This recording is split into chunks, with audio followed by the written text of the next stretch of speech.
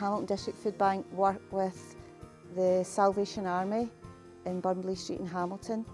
We have the location in Burnley Street from the Salvation Army. We have Hamilton Food Bank in 24 Quarry Street where we distribute parcels um, to people that are, are needing a wee help. We work on a referral basis.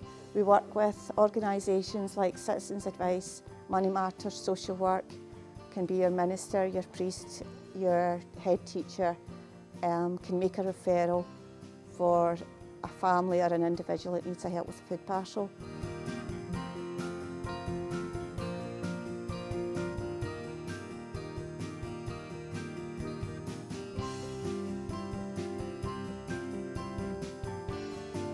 given the, the, current economic climate, we've seen over a period of the last 10 years, Uh, the use of the food banks has grown and grown and grown.